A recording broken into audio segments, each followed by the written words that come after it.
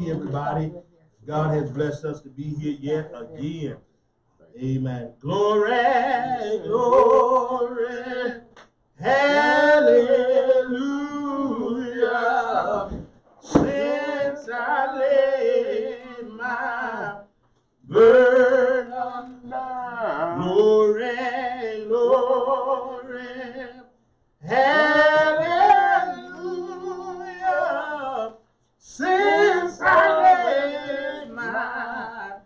Burden down, I feel better, so much better.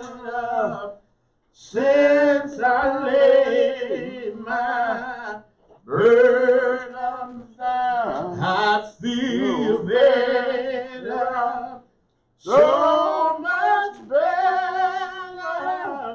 Since burden down, burden down, Lord, burden down, Lord. Since I laid my burden down, burden down, Lord, burden down, Lord. Since I laid my burden down. Shall we pray, Father, once again? We come before your throne of grace. First, to acknowledge that, uh, God, it was you that woke us up early this morning. Yes. You, dear Master, who started us on our very way. Yes. And so now, God, as we've assembled ourselves together, God, for God, you said that we all take symbol, uh, God, in fellowship one to another. So here we are, God. We're here, uh, God, ready and willing to hear what you have to say to the church. Yes. God, we pray, Father, right now that you will continue to bless those who are with us, those who are privately with us virtually. Whatever you need to do, God, bring, God, what you need into this place. God, we ask now, that whatever you can do, God, to give us more understanding, give us wisdom. Help us to comprehend that which, God, only you said the believers can comprehend. God, our prayer is, God, that you would keep watching, keeping, and blessing us now, hence, and forevermore. Amen. Amen. Amen. Amen. We're so glad, so glad God has again fixed it so that we can do the things that He's called us to do. I want to take you yet again as we uh, continue. Last time we met, uh, we were focused on completing uh, lesson three when we called it a servant's spirit. Uh, one of the things, one of the things that we discovered last time we met uh, was a true servant. First of all, uh, as we look at it, I got a testimony. You ain't let us I, do I'm, it. I'm sorry. Go go right ahead. Go. Yes, sir. I'm I got to let y'all know. share this with. Go ahead. Now, last week when I went there, I was at the doctor for blood work. Amen. They called me a week before prior and said, You ain't took your blood pressure medicine since October. Wow. I take so many medicines, I forgot I wasn't taking this. Uh, and uh, I went and took that blood work, Amen. and they called me Friday. They said, Mr. Woodman, I don't know what you're doing, but keep doing what you're doing. All my numbers, sugar, everything was on it. And I went Amen. from 240 pounds to 219. The Lord is good. all the time, man. I was so happy. You know, you want them numbers to be on there, you know what I We mean? do. We do. But yeah, Lord is so good.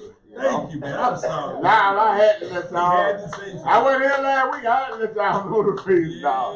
to That God was a big glory. blessing to me, man. Amen. That is great. That is Yeah. great. Amen. Everybody else good? All right. I'm All right. like, man, you don't want to let people know. I'm like, Let- let- I say I it didn't give my time tell yet. me, I guess. Amen. Let's get started, guys. Again, now notice that there are three three uh, variables that our lesson talked about that defines a true servant. First of all, we discovered a true servant does not demand recognition, but then also we discovered that a true servant does not demand rewards. Uh, but then lastly, we also discovered that a true servant does not demand self rights. I want to share with you what are we trying to say to you as, as we look at what it means to have a servant spirit. Well, first of all, when we start to look at a true servant does not demand recognition, uh, just by, by second of review, let me share this with you. When we look at Matthew 6 and 12, it says, Take heed uh, that, watch this, you do not do your charitable deeds before men to be seen by who? Them. This becomes important because as we look at it, one of the things we discovered last week, Velma, is the fact that Jesus is showing us clearly that God's righteous standard, remember that, that it does involve doing the things for the sake of display or image. Uh, he says to be seen by them.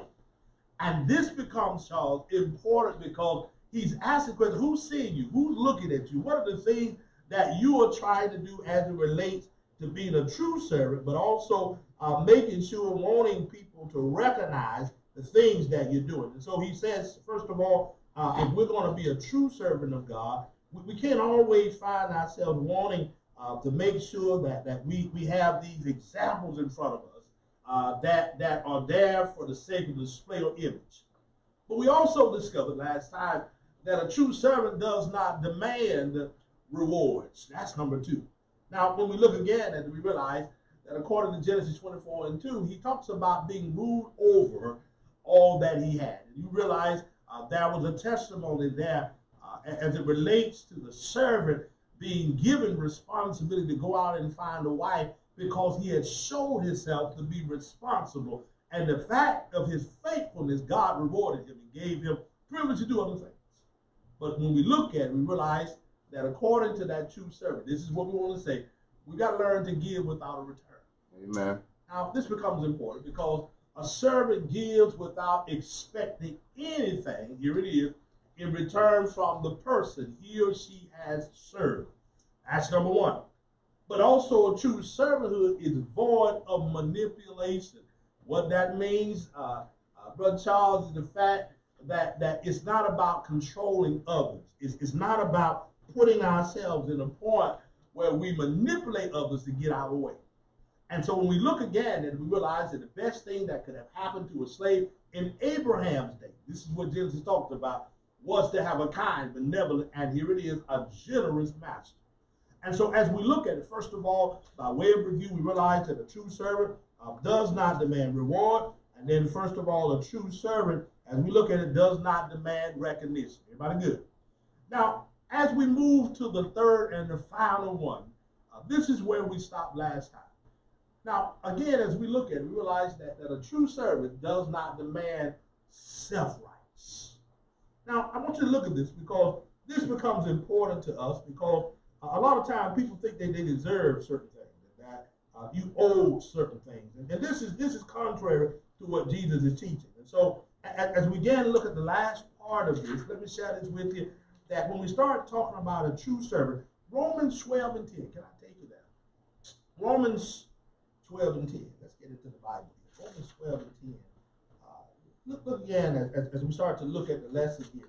Uh, it is here that Paul began to share with us what, what it means to yield, what, what it means to uh, position ourselves, uh, brothers and sisters, uh, when it comes down to the things of God. Notice as he begins to talk about the role of a servant.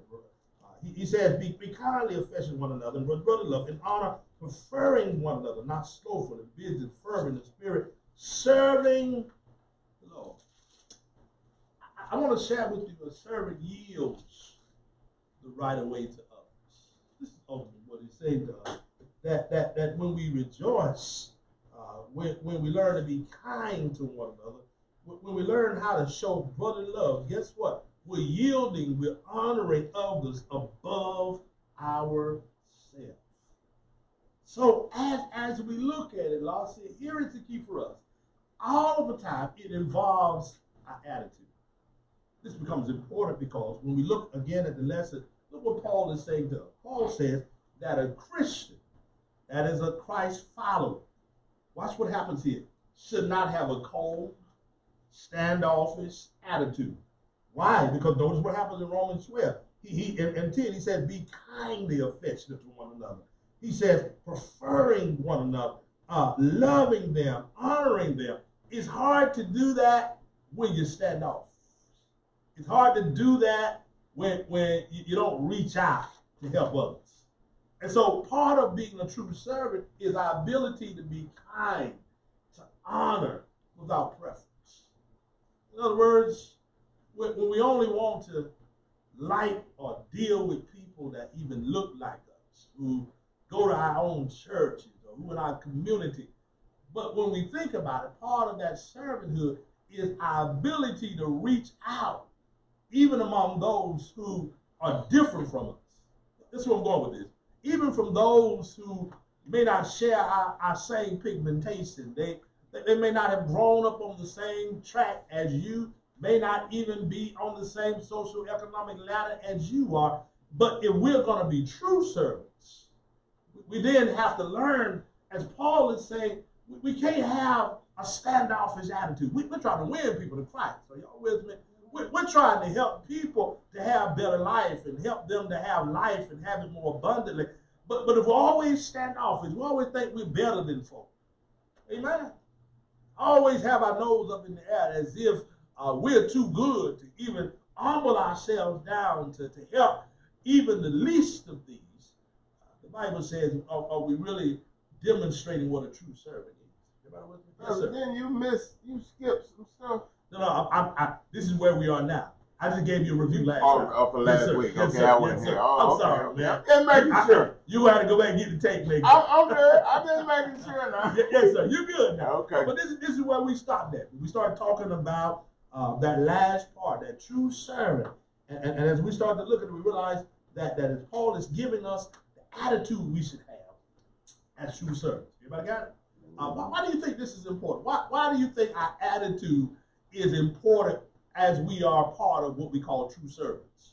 Anybody want to throw, throw your hand in there? Because, Pastor, you know, mm-hmm. if if you're God, you're a child of God, you, I'm going to just say it. Mm-hmm. I call myself a true servant. Amen. The first thing I had to do when I left and got off the streets of drugs, I asked the Lord to humble me. You got to be humble. Okay. And have a great heart. Mm. And if you got that, the Lord give you that, what come out of your mouth, and you don't know what you put out of your mouth, the Holy Spirit gonna take over and take over and bring everything out for you. It's gonna be correct. Mm-hmm. But you got to be humble. You got to you got to be humble. And the Lord already know our heart. So. Right. Yeah. There you go. And, and, and so as, as, we start to look at it, we realize that that that Paul is saying we got to we got to let love mm-hmm. be without hypocrisy. Amen. That very word hypocrisy means that that that we cannot show love uh, every now and then or, or according to uh, some standard. Because sometimes when we think about hypocrisy, the very word means that we're doing something on one end and not doing it in another. Bible says we become hypocritical in things we're doing. And so, so when we think about it, he says, be kindly affectionate one another with brotherly love. That means not lagging in diligence, not uh, fervent in spirit, serving the Lord, rejoicing, uh, having that patience in tribulation, continuing steadfastly, distributing to the needs of the saints, giving to hospitality. All of this, Paul says, comes from a good attitude, comes from, from having not a cold and standoffish attitude, but but that idea of yielding. This, this is the key for us. So when we think about it, do, do you do, do, do, we have what we call a yielded spirit? Let me share that with you because this becomes important. When, when we're servants, uh, when, when, we have the spirit of yielding, that, that means that uh, when, when, someone is here, watch this, a, a servant has a yielded spirit both to God and to others. This becomes important because when we think about it, uh, while, while, a servant will stand up for what is right in God's eye, a person with a genuine, I want you to see that, Charles Washington, heart does not insist that they have their own way. And, and that becomes important for us because as we look at servanthood, it can't always be your way or no way. It's part of that attitude. Can, can I yield and let somebody else get credit? Can, can I yield and let someone else be praised sometimes? Can, can I yield and allow others to be able uh, to, to be preferred above me? That's what he's saying to you and I. So, so when, when we have the right spirit, uh, when we're when we're standing up in God's eyes, this is what He sees as someone who has a true spirit, a true spirit, uh, someone who is willing to not have it his own way, but someone is willing to say, you know what, Charles, you get the credit now. You know, uh, you know, Lassie, you go forward now, and and, and and, and, you get the things now above me. Go right. Yes, you sir. know what? I guarantee you, everybody does this. And I, I really started paying attention mm-hmm. to this lately. Mm-hmm. If you're doing something out there, you know what, you doing that just like me. Mm-hmm. Everybody do that. Amen. Mm-hmm. But today, and I thank God for it. I think before I say that. Amen. But a lot now y'all know it now. Y'all ain't saying that y'all know. You do that just like me. You know what I'm saying? Yeah. And a lot of people say that. Well, because a lot of Don't times, you know, you ain't gonna be nobody else to say that. You know, you're doing it like them. yeah, yeah. And I hear it all the He time. ain't even call my name. I did this and I did that. Uh, hey, go ahead, go talk, talk. With, with, uh, tagging off of what he said, Mhm. by, uh, like in our past, the things we've done, we've changed that life, right? Amen. And so it, it's, it's like, for us, as far as, I, I I may be a little bit back, Yes, but as far as, like, say, me coming out, I didn't see my, my, I put my past behind me, but coming out to like being here, right? Mhm. I'm real careful Mm. because I don't, you know, you know, I, I want to make sure that I'm doing it right this time. Amen. So, like he said, it's it's kind of makes me scared, but I got to get out. That's right. To Let somebody know what I went through, Mm. so that you know they can come on out and see God Right, because again, you know, part of part of our witness uh, is wrapped up in our testimony. You know, we, we got a lot of uh, used to be's in the church. Amen. We got a, a lot of people who came from some some situations, and, and part of your testimony is the fact that I was tested and I made it through. And so, as we start to look at certain things in our life, uh, that testimony, you just never know if it will help somebody, it will bless Right. somebody. But when we start to look at it again, we realize that that this is what God is looking for: a person with a genuine, watch this, service heart. That's what He's looking for, and that's that person who does not insist on having their way. The ones who want to be, you know, uh, propped up and recognized. So He said to you and I, we've got to have a yielded spirit in order to be a true servant. But to realize that, like he was saying, and Uh-huh. I me myself, today I'm thankful I think. If you don't think for you speak, Mm-hmm. anything gonna come out your mouth. That's true. That's You true. ain't gonna act like you used to act. Yeah. You know what I'm saying? I'll say the thing you used to say. Yeah. But I know that's what helped me. I think today before I speak. Well, a, a lot of it too. Remember, we, we, we've got to always be able to, because God has placed His Spirit within us. And because He has His Spirit in us, He helps us to yield to God more so to our flesh. Because you got a good point. Sometimes that flesh part of me, Velma, want to cuss you out, say certain There you things. go. That flesh part of me, you you say something to me, I'm, I no no no no, I got to get the last word. But when we have a yielded spirit, genuine, God allows us to listen. God allows us uh, to, to be able to meet the needs of everyone that's around us. Because remember, uh, part of Paul, as he said in Romans 12, is the fact that when we have that type of spirit, then we begin to distribute to the needs of the saints. We be given to hospitality when we're demonstrating the right type of attitude. So, as we start to look at it, notice what Paul said. We are to love God, first of all, with all of our heart, soul, and mind, and our neighbors. How? As ourselves. It is out of that love, Deacon Scott, that we serve. Not out of my like, because sometimes people may not like me, but because I love God, that love of God allows me to love people in spite of them. So when we learn to love God first, we become yielded in our spirit enough to even love those who may not even love us. Amen. And so again, as, as we began to look at it, we realize that if we love but you do not give to a person or not generous in your service to that person, on what ground, I need you to see this, can you truly say you love? Because if you're giving out of just, you know, spite, expecting stuff to come back to you, uh, or out of manipulation or controlling that person, then here it is. You don't have the same grounds as that person who is giving out of a generous heart. Remember, distributing to the needs, uh, uh, uh, prone to hospitality. All of that comes about because I have a yielded spirit. I have the attitude that allows me to go forward and do the things that God has called me to do. And so here it is. Part of our ability to be a true servant is it has to be love in action. Amen. Let's go a little further because here is the key for us. Uh, when we talk about service, service is the evidence of generous love. Can I share that with you? Service is the evidence, now watch this, of generous love. Uh, Matthew, can I take you to Matthew? Matthew chapter 22. I want to share this with you because I, I believe this is important. Matthew 22, uh, I want to move to verse 37 because, uh, again, this, this is Jesus speaking uh, to his disciples, trying to share with them uh, what, what this love in action is about. Matthew uh, chapter 22, uh, verse 37. Verse 37. Look, look what I read, those with me. Uh, verse 37 says this Jesus said unto them, Thou shalt what? Love the Lord thy God with all thy heart, with all thy soul, and with all thy mind.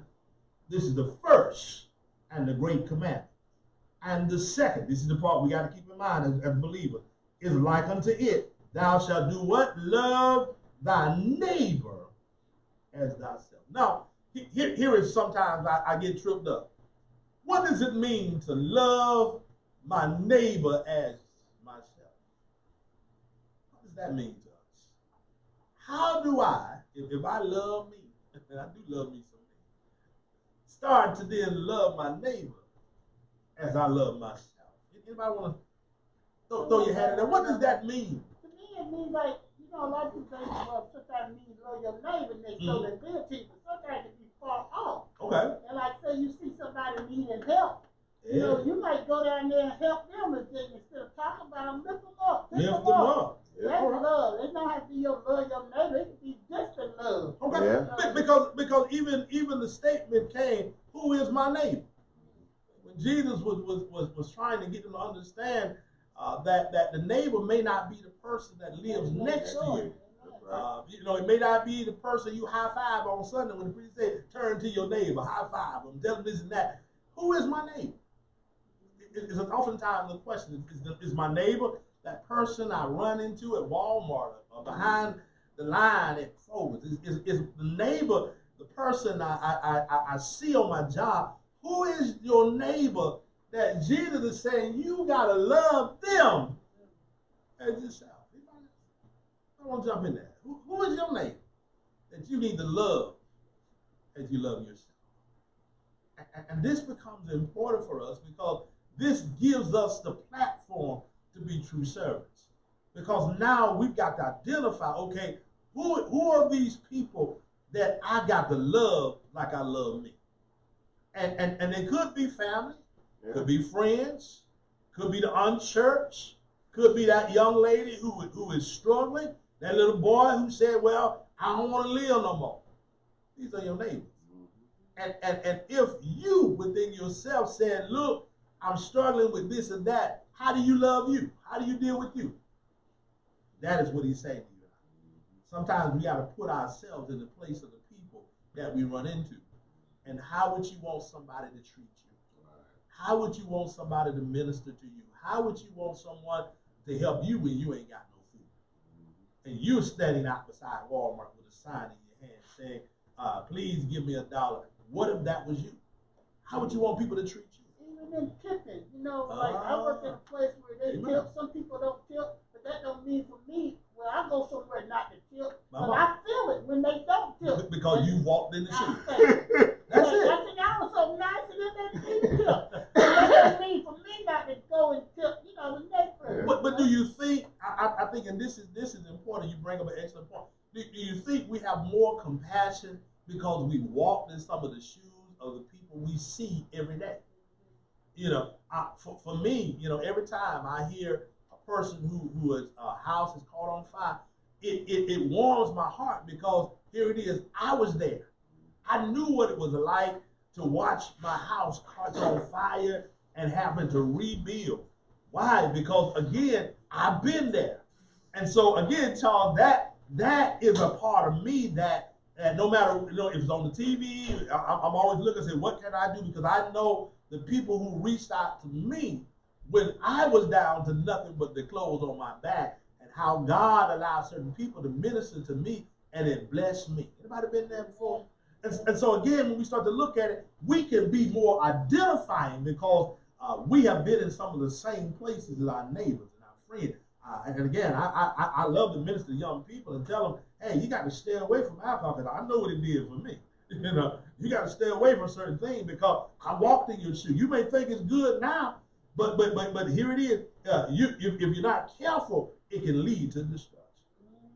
So again, we've said uh, service is the evidence of a generous love. Here it is for us as we start to round the corner. If you can answer the question, are you God's servant with a resounding yes, here it is for us. Uh, here is the key. Then the evidence should be able to back it up. What is the evidence? Here it is for us of your willingness to serve others without demanding recognition, rewards, or rights. That's that's what we are. Um, can, can, can, can definitively, uh, when, when it's all said and done, uh, do, do, do you have to really justify, or did people actually see your works? Uh, they, you, you don't have to get up and talk about it every Sunday because they know that's who you are.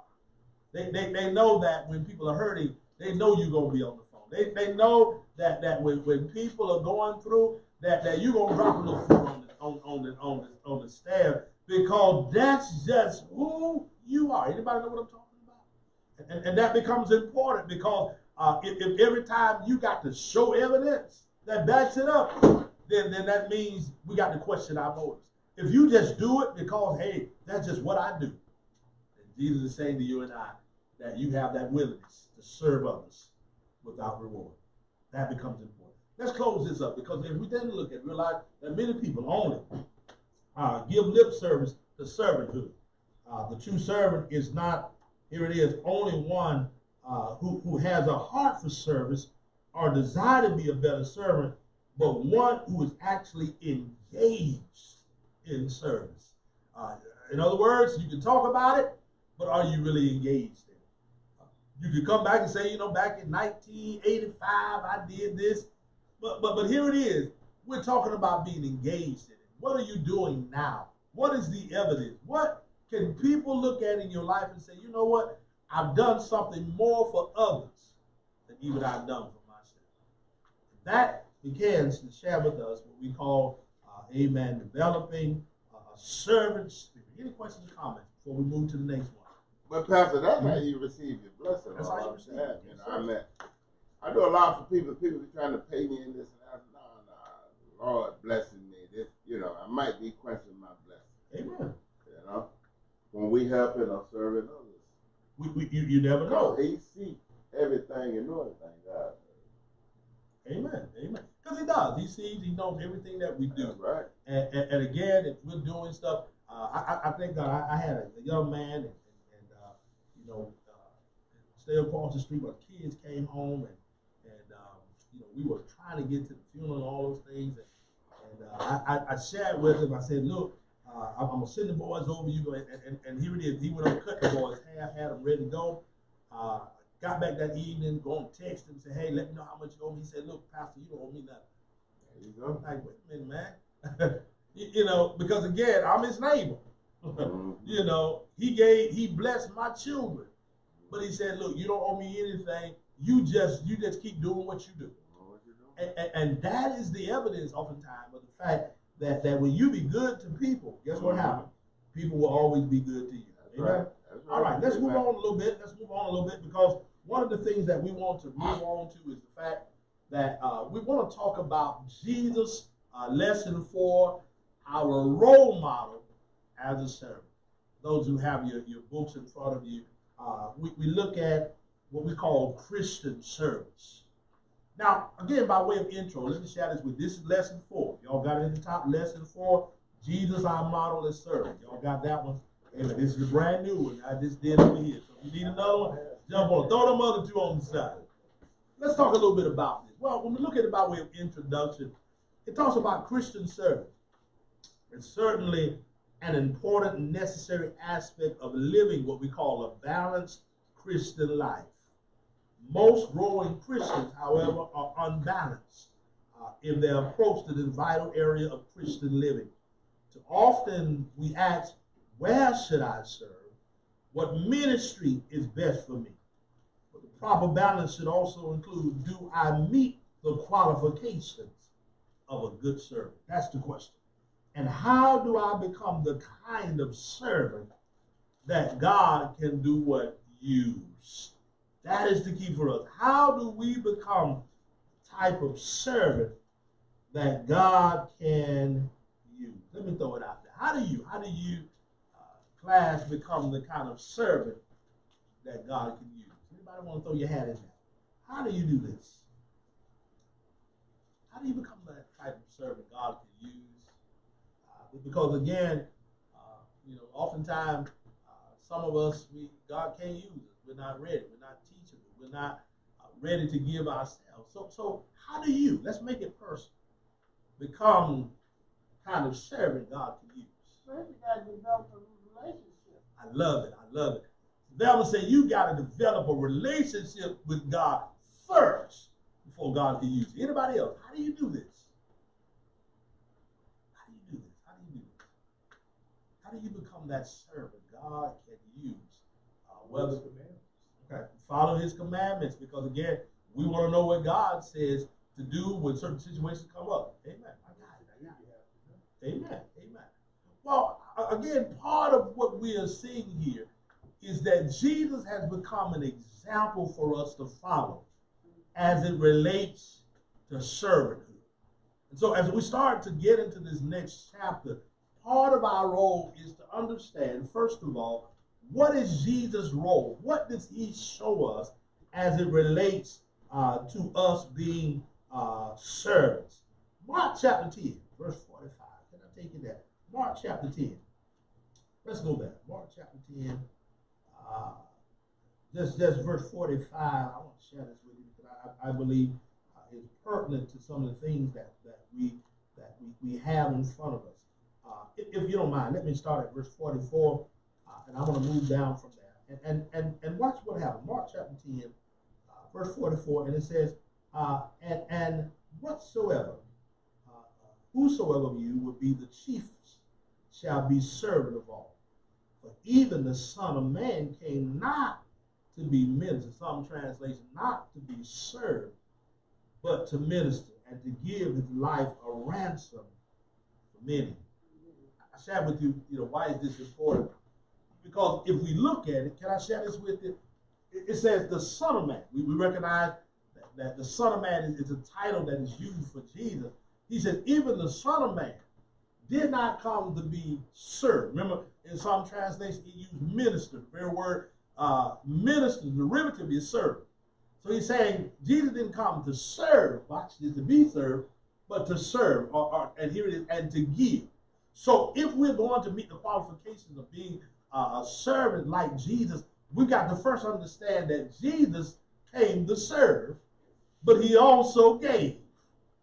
So we realize one of the two of the first concepts uh, that we got to keep in mind as we become more like Jesus is: Are you willing to serve or minister? And then the second concept is: Are you willing to give for many? Amen.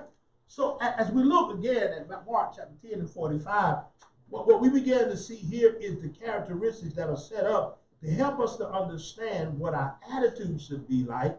Because here it is for us, the Lord Jesus, when we think about it, is the perfect model servant. And throughout the days of his ministry, he was totally involved, watch this, in serving who? Others.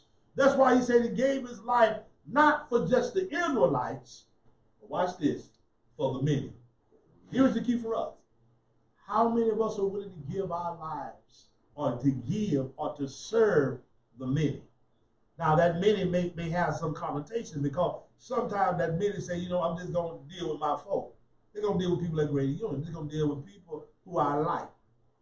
But this was not Jesus' concept. Jesus, no matter where you were, no matter how, uh, uh, amen, sometimes disabled, without sight, without hearing, uh, he didn't, didn't matter about uh, whether people came who were hungry.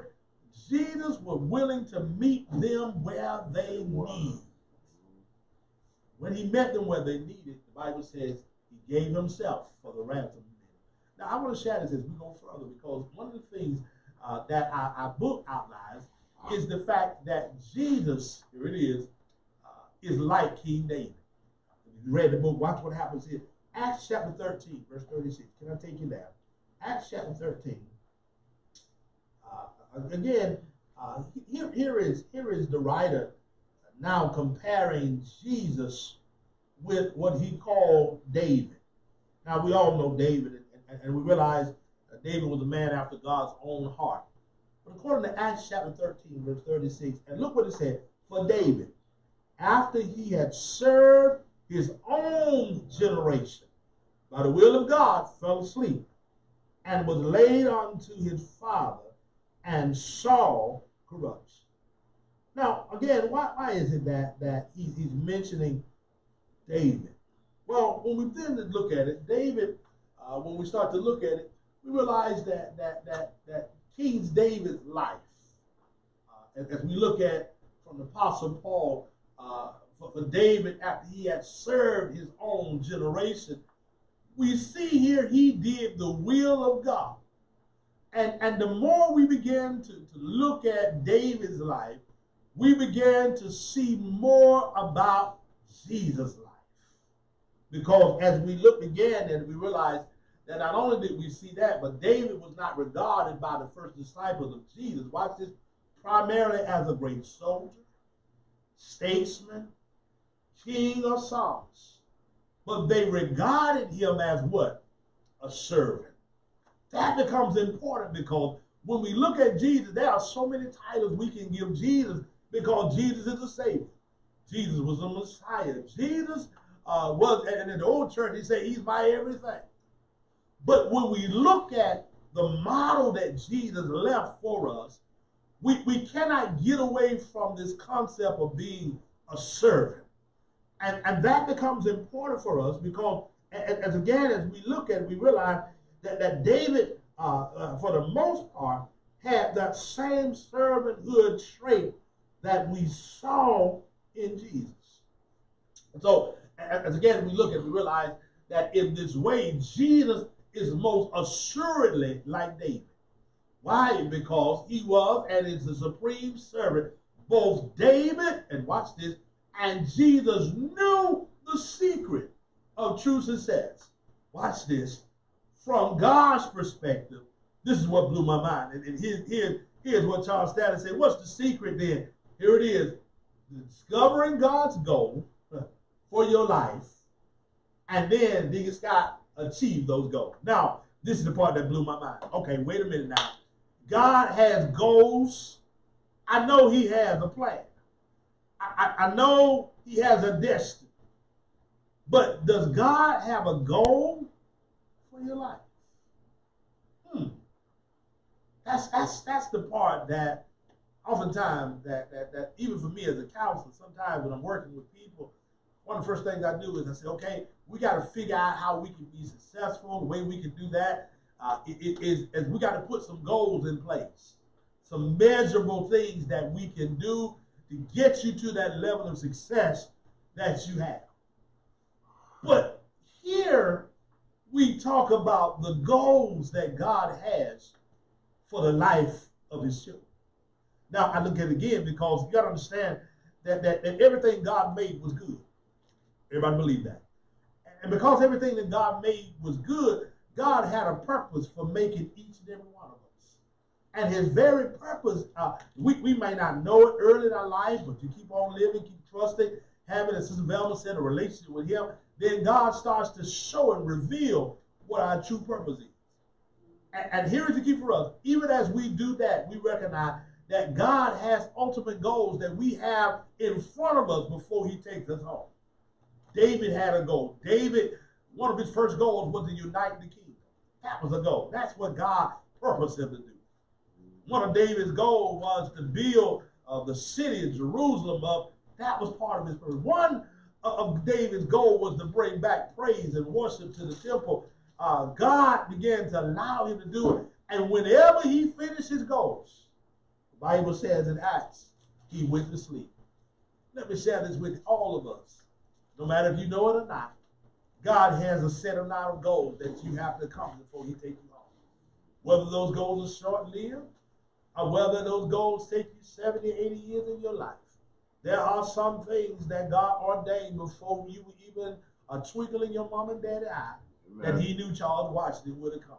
Amen. And he knew that, that beyond a shadow of a doubt, these are some of the things that would happen. So we realize, first of all, when we learn to, to know that God's goal for your life are there, the problem we have oftentimes is the fact that we don't spend enough time with God for us to discover what our goals are.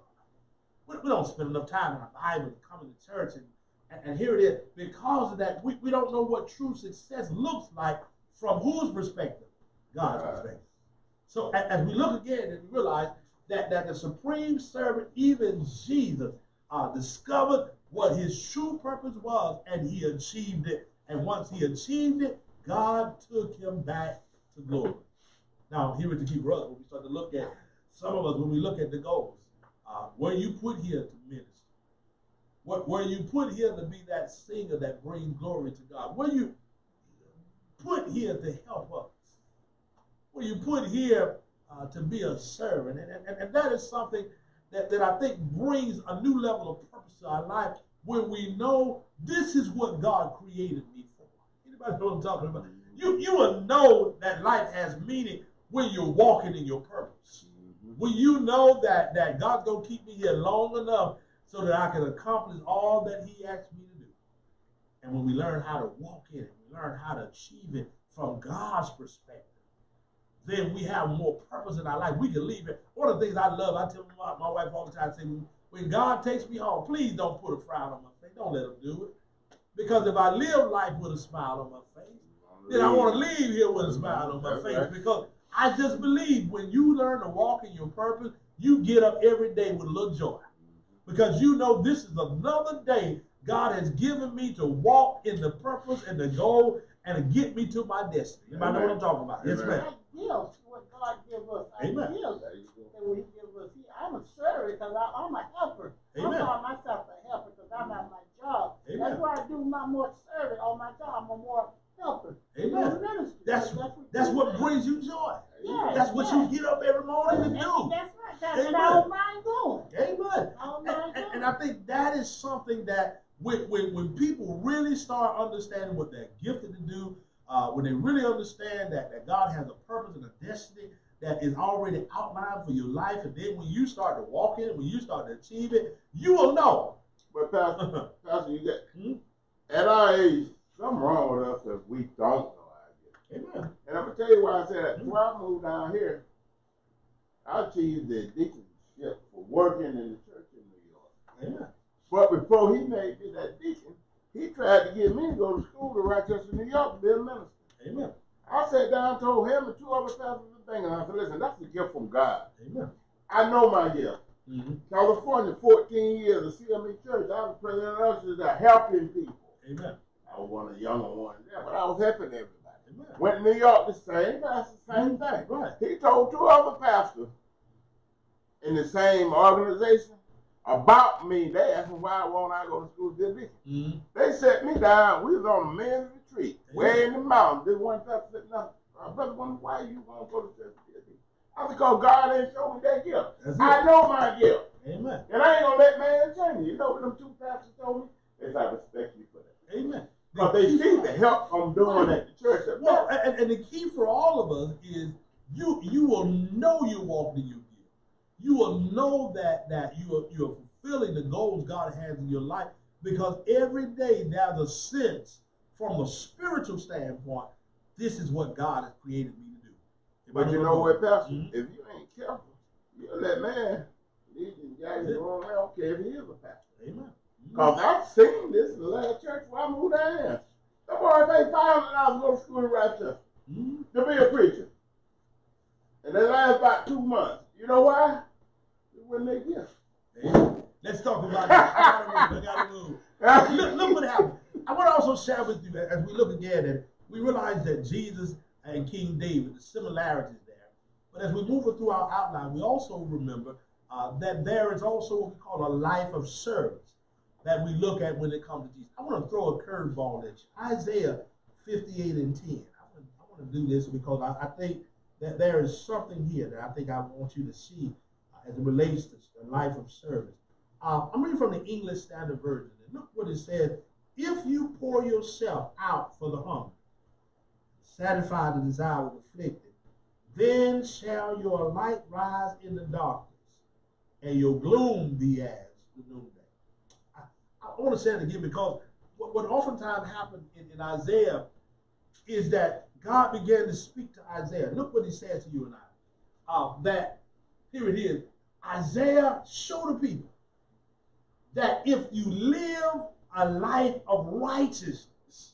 Y'all stay with me here. And love, then watch this. They will see their prayers answered. Okay, let me let me rewind it. I don't want you to miss this. If, if they share, he said, share with the people that they live righteously, right before God. Here it is, and loved, loved others and loved God, they will see their prayers answered. now, I want to go a little further because I say, okay, okay, God, I see where you're going. But how does that relate to us? Here it is. They would have lives full of light, full of healing, full of righteousness, full of glory of the Lord. Here's what he's saying to you and I. When, when, when we have a life of service, we can also have a full life. When, when you want to do what God is saying to you to do, when, when, when you walk like God says walk, when you do what he's asking you to do, then he says your life can be full. that, that's what Isaiah said. That God told me to tell the people, if you want your life to be full, just keep doing what God said. And, if you do that, watch what he says, then your life will be full. Now, he goes a little further because uh, even in that same translation, he talks about ministry to serving to the hungry. And with more than the food, they, they, they will also have to seek to satisfy the afflicted soul, and God will bring blessings into their lives. Isaiah puts it there, and says to you and I, that, that when you do the things that God said, God will bless your life. Amen. But not only will he bless your life, but then when you don't mind helping the afflicted, when, when you don't mind reaching your hand out to serve the hungry. This is what he's saying. When, when, you, when, you, when you give them more than food, but you give them substance to help them get through life, he says, watch this, God will bless you. So again, as we start to look at it, we realize that that that that God, uh, through the process of that, we, have got to actually ask the question: Are, we actively serving? Are, are, are, we giving of ourselves? Are we uh, serving and ministering to others? And here it is for us: that is what Jesus' ministry was about. Why? It was about active service. Amen. Some people now, you know, we we, we have to wonder if they're active or un, uh, inactive in our churches. Jesus is saying every it, it, ain't even about church membership now. It is about serving. Are you actively serving somebody, some entity, some community, some neighborhood, are you actively serving? Here it is. What we often fail to recognize is that for nearly 30 years, you might think Jesus was always on the scene, but remember, Jesus didn't start his earthly ministry to after 30. So we began to ask the question, what was Jesus doing? We, we, we remember him being, as a young boy, coming into the temple and, and, and befouling all of those who heard him. But after that, that was the years of silence. We wonder what happened between the young Jesus coming into the temple and, and 30 years later when he's walking in Capernaum. Well, I want to share with you, Jesus served. I'm theologians have debated this because uh, surely as we start to look at it, uh, we, we, we, we don't have it written, but, but, but we realize from the traditional, the culture of the time Jesus grew up in, Jesus was required because some believe his father, his earthly father, Joseph, died at an early age. Some believe it was during the teenage years of, of when Jesus was coming up. And according to, to, to, Jewish tradition, the oldest had the responsibility of taking care of the family. And so most believe, most believe that because of this, uh, Jesus had as the eldest the responsibility, watch this, of taking care of brothers and sisters. Jesus had the responsibility of making sure the family had income. Y'all talk to me. Remember, his father was a cop. Somewhere along the line, some theologians believe Jesus took the trade of carpentering so he can make sure the family was taken care of. We understand that his mom, Mary, uh, it was never recorded that, that she worked anywhere. So because he was the eldest of the family, some believe the reason his ministry started later is because he was there helping to train his younger brothers and sisters. Anybody know what I'm talking about? And so we, we begin to ask ourselves the question, all right, Jesus, uh, you, you, you have sad, you have done all you can, you took care of the family, you, you trained your younger brothers and sisters. Uh, now Jesus said, his time is now come. He's ready to go to me. Anybody, anybody know what I'm talking about here? Uh, most as, as we start to look at it, realize that, that, that part of our serving uh, starts at home and it spreads abroad. And so what we see here is not only Jesus being an example of a life of service, but we also have to go back and say, okay, Jesus, where did you learn how to do this? Where did you learn how to have compassion? Uh, where did you learn how to stay long enough to help those who needed your help? Well, some believe that he had to be prepared to serve. I, I, I looked at it again, and Deacon Scott, I, I, oftentimes look at Jesus being a baby. Sure, we know that he was God the Father. We also know he was also God in the flesh, but, but we also know that, that he had likeness as a man. Somewhere along the line, uh, Mama and, uh, Mary and Joseph were still having to pour into Jesus. Y'all believe that? Somewhere along the line, he was having to take care of his brothers and sisters. And, and through all of those concepts as a young man and growing up, taking care of his family, maybe perhaps huh, he learned how to serve. when we get to look and realize that it was in serving, it was in pouring out to his family that he began to develop his compassion that that that we'll see during his ministry years. Maybe during that time, we, we, we start to see uh, that that the reason why he was able to reach out to children because he was there to help nurture his brothers and sisters. Maybe we saw that because he, he, he was there for his family. He didn't mind touching lepers. Maybe he had a cousin that was leper. We don't know. We, we can't, we can't uh, amen, uh, uh, uh infer within. We, we can only see what was in front of us. But we also realize that he embraced the outcast. It was a pattern that had grown in Jesus throughout his life of caring for his own family. And, and so, can I share with you how, how, how vital this is? because a lot of us have the traits of a servant. Uh, I don't know about y'all, but but some of us we were there to help raise up uh, our, our, brothers and sisters. We, we we took care of this and we took care of that. Velma, it's already in you because most of us don't realize we were prepared to move into the uh, the field of serving uh, through all the things we went through. And so uh, again, as we look at the reality that we have here, we see Jesus' life of service, and we cannot discount the fact that it had to start somewhere. Anybody with me? And, and, and, again, as we start to look at it, we realize that here it is. How do you feel about the service that you give to your family? This becomes important. Because again, uh, as Jesus served his family, it prepared him to serve others. So when we start to look at it, we realize that charity begins at home and, it's, and, it, and, it, and it goes abroad. And so again, we realize that we cannot uh, take care of everybody else's house if our house is not in order. Not in order.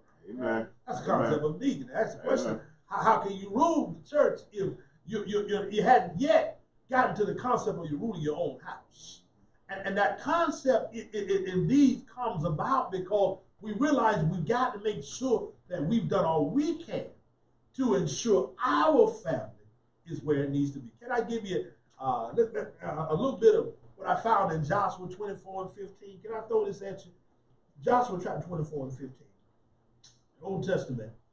Because this, this concept of, of taking care of the family, making sure the family is in place, I think is important for us. Uh, Joshua 24, verse 15. Uh, we, we remember, we remember uh, that, that as uh, Joshua was, was getting ready to uh, to depart and, and he, everybody had gotten to the place.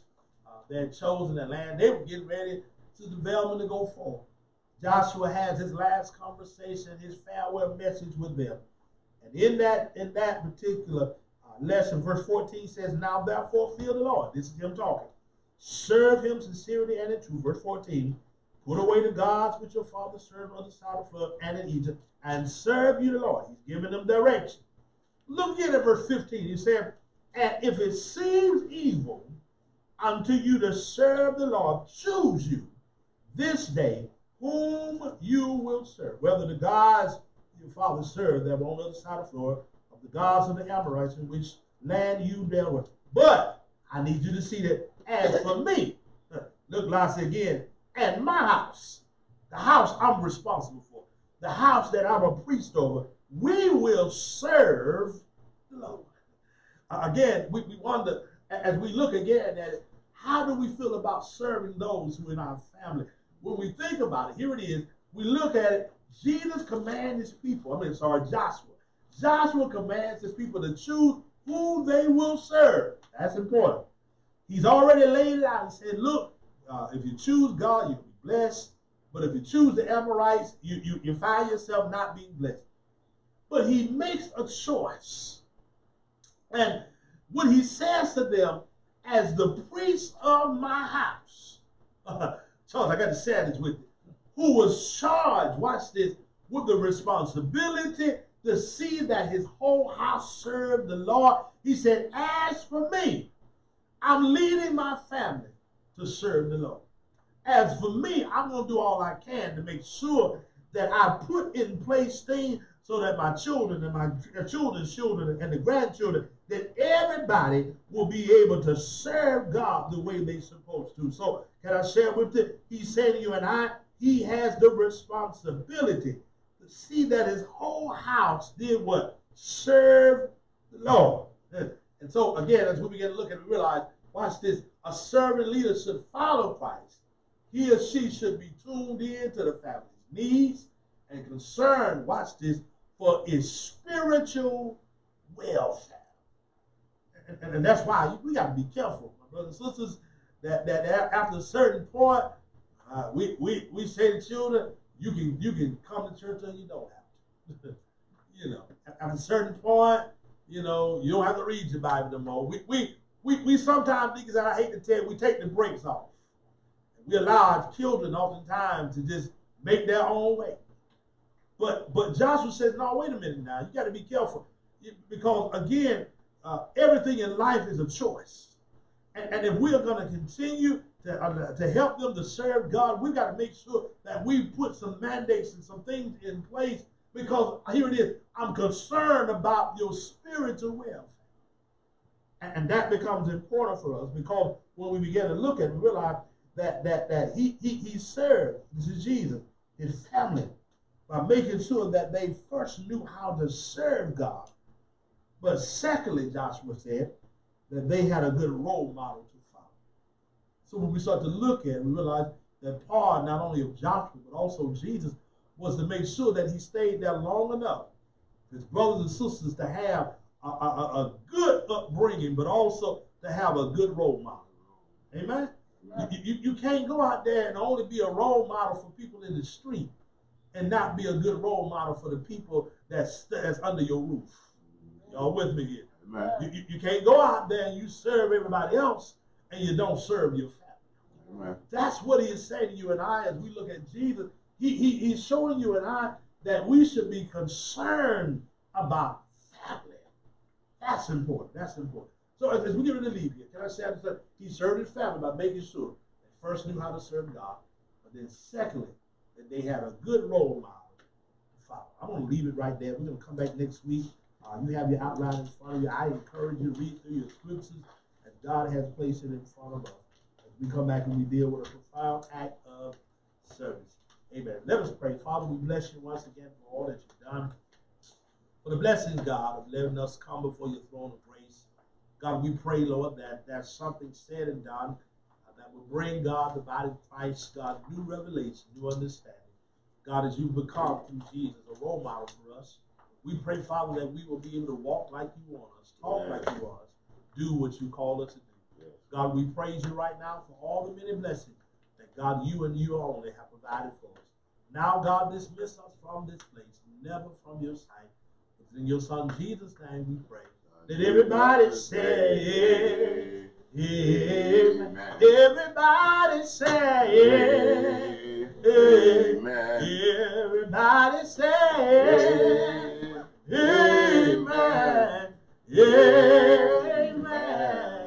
Amen. God bless you. Good night, everybody.